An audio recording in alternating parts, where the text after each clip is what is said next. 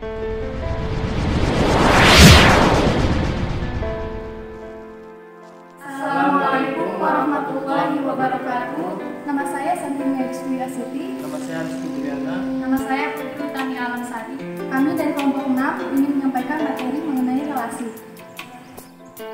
Relasi bisa diartikan sebagai suatu aturan yang menghubungkan anggota daerah asal atau domain dan anggota daerah kawan atau kodomain. Dalam relasi tidak ada aturan khusus yang harus dipenuhi untuk memasangkan anggota himpunan daerah asal ke daerah kawan. Setiap anggota himpunan daerah asal bisa mempunyai pasangan lebih dari satu atau boleh juga tidak memiliki pasangan sama sekali. Relasi dari dua himpunan dapat dinyatakan dengan tiga cara. Yang pertama yaitu diagram panah, yang kedua yaitu diagram kartesius, dan yang ketiga himpunan pasangan berurut.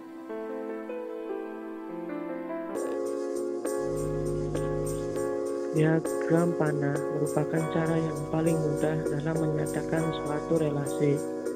Diagram ini akan membentuk pola dari suatu relasi ke dalam bentuk gambar. Gambar arah panah yang menyatakan hubungan dari anggota himpunan A ke anggota himpunan B.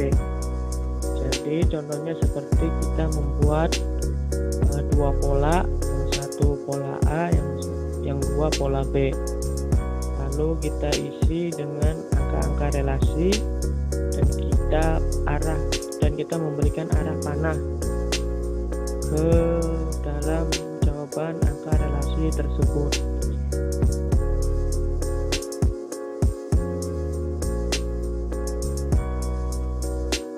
Diagram Cartesius adalah sebuah diagram yang terdiri dari sumbu X dan Y.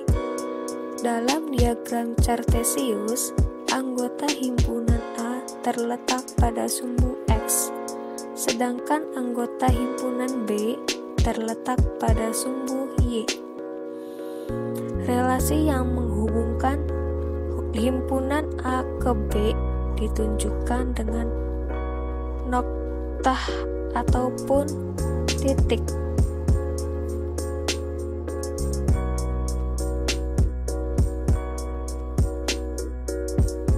Sebuah relasi yang menghubungkan satu himpunan ke himpunan lainnya bisa disajikan dalam bentuk himpunan pasangan berurut.